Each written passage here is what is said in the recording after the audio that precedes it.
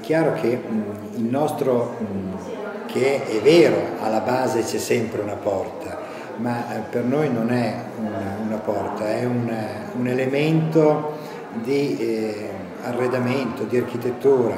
è un complemento quindi, è una, un oggetto che, deve, che vuole essere espressione di creatività per i professionisti, che sono i nostri storici interlocutori, con i quali noi abbiamo chiaramente sempre ed è sempre spinto la flessibilità dell'azienda, sia sull'aspetto estetico, dimensionale, applicativo, e che quindi permette veramente di soddisfare un po' tutte quelle esigenze che oggi più che mai eh, in un mondo dove la qualità del servizio, la puntualità e la precisione sono elementi di importanza notevole, di valore aggiunto, riteniamo di essere sicuramente eh, dei leader. Ovvio che mm, tutto ciò eh, vuol dire un impegno notevole sia in termini produttivi che di, tempistica. Eh, oggi il servizio è fondamentale per poter soddisfare un certo tipo di interlocutori di esigenze. Eh, come si diceva prima, il nostro che un prodotto invisibile vuole diventare visibile tramite la creatività del professionista. Quindi noi vogliamo dargli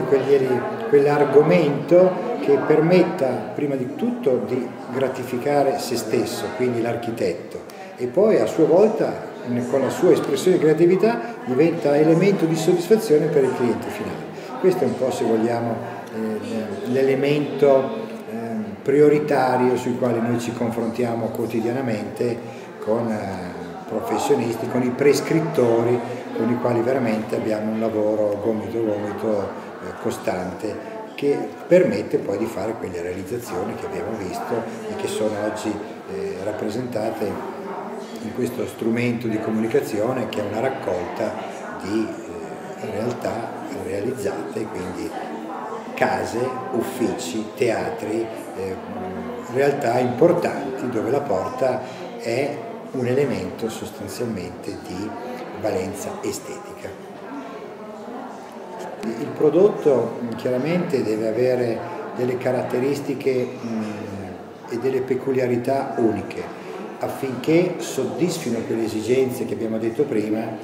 di ehm, invisibilità. Ciò significa che il prodotto, se non è altamente performante e che crea dei disservizi, ricordiamo che in effetti questo oggetto ha un telaio in metallo eh, sul quale eh, va a legare o delle malte cementizie o dei cartongessi, quindi delle rasature, deve essere altamente performante per evitare che crei quei distacchi, quelle screpolature, quelle piccole anomalie che fanno la grande differenza su una porta rigorosamente, ehm, se vogliamo, contestualizzata. L'unico elemento che fa percepire che sia una porta è questa fuga perimetrale di 2 mm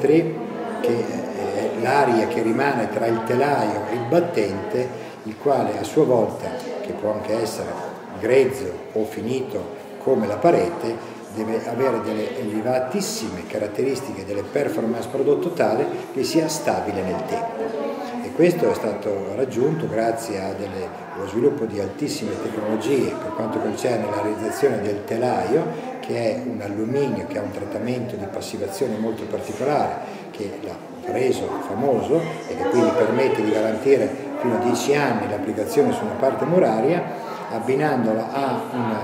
battente, quindi a un'anta meccanicamente stabile, anche per misure elevate, visto che noi arriviamo a fare ante fino a 3 metri di altezza e talvolta possono anche essere realizzate curve, quindi a botte o ad arco, e lei capisce che se tutto ciò non è eh, estremamente performante e che soprattutto garantisca